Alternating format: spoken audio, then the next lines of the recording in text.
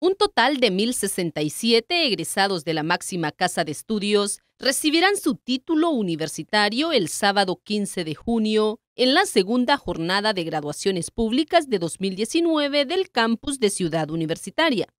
Ya el sábado iniciamos las graduaciones a las... Eh, van a haber dos jornadas, de 9 a 11 y de 2 a 4 la de 9 a 11 con las facultades eh, de ciencias económicas, eh, ciencias jurídicas, eh, odontología, no, perdón, ciencias económicas, ciencias jurídicas, humanidades y arte, ciencias sociales e ingeniería.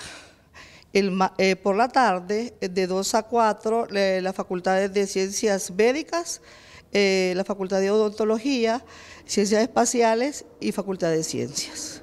Con esas terminamos la jornada, con un total de 1.067 graduados. En este magno evento se graduarán 732 mujeres y 335 hombres.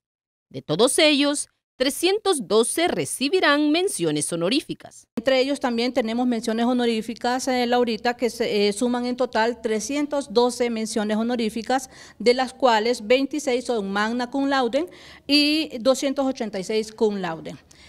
Vale la pena también hacer eh, un señalamiento que tendremos la entrega de un título post-mortem en esta ceremonia del 15 de junio en el Palacio de los Deportes, el cual corresponde al egresado Álvaro Adán Ávila Ávila, doctor en microbiología con orientación en análisis clínico. Autoridades de Secretaría General de la Alma Mater detallaron que en este mes de junio, además de la ceremonia de graduaciones públicas de Ciudad Universitaria, también habrá graduaciones en el campus del Centro Universitario Regional del Litoral Atlántico y en el Centro Universitario Regional del Litoral Pacífico, en jornadas programadas para el 20 y 25 del mes en curso respectivamente.